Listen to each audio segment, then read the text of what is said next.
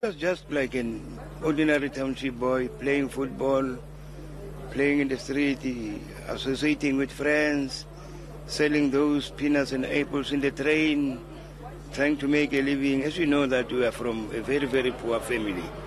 So to make ends meet, he was selling those apples and peanuts in the trains, just like a township boy. Well, Solomon Mahlangu understood that his fight was for the total liberation of South Africans. That's according to Umkhonto we veteran Johnny Mohlala. If we would remember, Solomon Mahlangu's death came just immediately after 1976 uh, students' uprising. And his hanging actually represents a new crop of MK cadres who were sent out after the 1976 riots. And he's coming back. In fact, the mission was to coincide with the first anniversary of Umkhonto we Sizwe in 1977. Now, Solomon Mahlangu, in that operation, displayed a sense of discipline, which is something that the youth of today can learn from. And I'll expand why I say that. You know, when Solomon Mahlangu left the country, he left it with two of his friends, Temba Nkosi and Temba Masuku. And when he was infiltrated into the country, he was supposed to come in with the two. And he approached the MK High Command and demonstrated why it would not be right to come back with the two people that he left with. Not because there was anything wrong with them, but simply because the three knew each other very well. And he realized that the, the fact that they knew each other very well might compromise the mission. And that's how he ended up with Monty Motlou and George Mazibuko, both from Duduza, and not his friends from Mamelodi. High level of discipline. But more than that, I think it is common knowledge that uh, Solomon Mahlangu never even fired one bullet. The reason he never fired a bullet is because he was in, under instruction not to injure or kill anyone. He knew firing a bullet might lead to the death of other people. And that's how he displayed his discipline up to the end, to the day that he was hanged.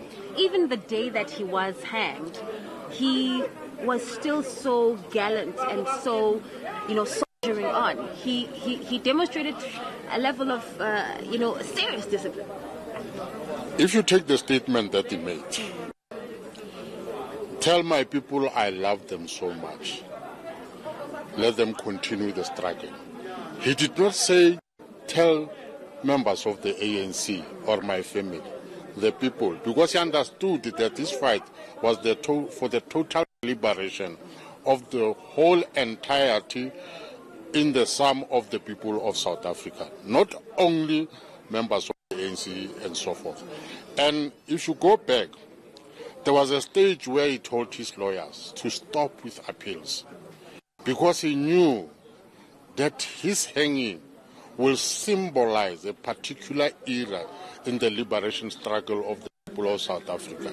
And hence, he says, my blood will nourish the freedom this people of South Africa. And it's because he was an ardent scholar, something that people don't know about Solomon Mahlangu. He read He read Paulo Freire Pedagogy of the Oppressed.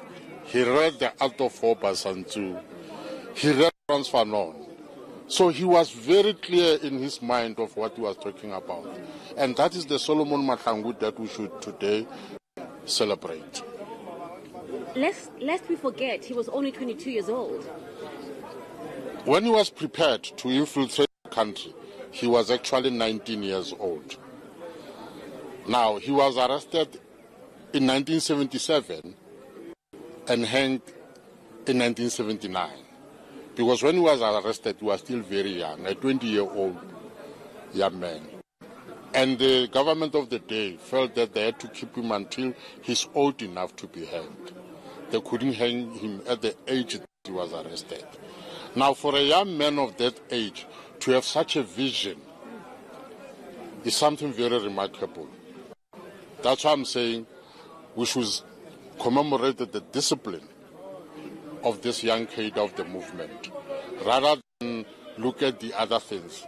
Now, Solomon Mahlangu what other people might not know is that his death changed the thinking of MK Command in how to infiltrate people into the country.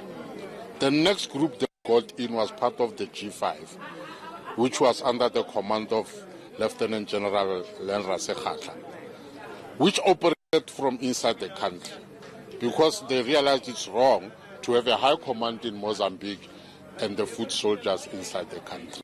You had to have your command structure and the full soldiers at the same place so that when the full soldiers pick up problems, they can immediately go to the high command and confer with the high command.